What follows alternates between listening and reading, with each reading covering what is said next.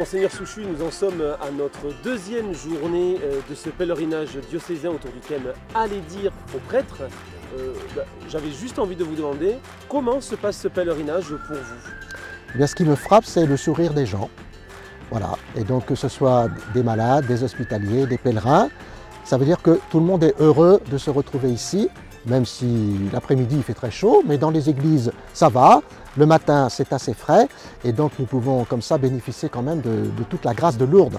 Parce que cette grâce de Lourdes, c'est chacun qui l'apporte. On en reçoit et on en donne. Les malades en reçoivent et ils en donnent. Les hospitaliers en reçoivent et ils en donnent. Les pèlerins en reçoivent et ils en donnent. Et ça se manifeste vraiment par le sourire, par la joie, par le fait euh, d'être heureux de pouvoir nous rencontrer. Parce que euh, l'année dernière, on avait réussi à faire déjà un pèlerinage relativement important pour l'époque. Là, on, grossit pour revenir, comme on dit, à la, normale.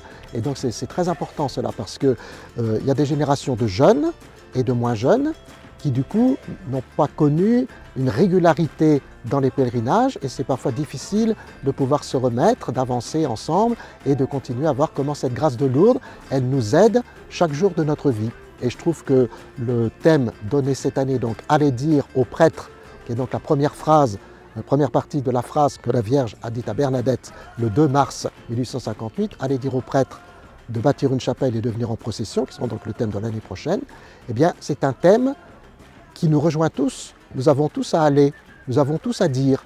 Et puis aux prêtres, globalement, c'est à l'Église. Et l'Église a beaucoup de choses à entendre. Toutes les démarches synodales que l'on fait, les consultations pour le synode romain, manifestent combien elle a besoin d'entendre la participation de chacun. Eh bien, je souhaite à tous que ce pèlerinage puisse contribuer à cette belle participation, en tout cas déjà par la rencontre et par le sourire.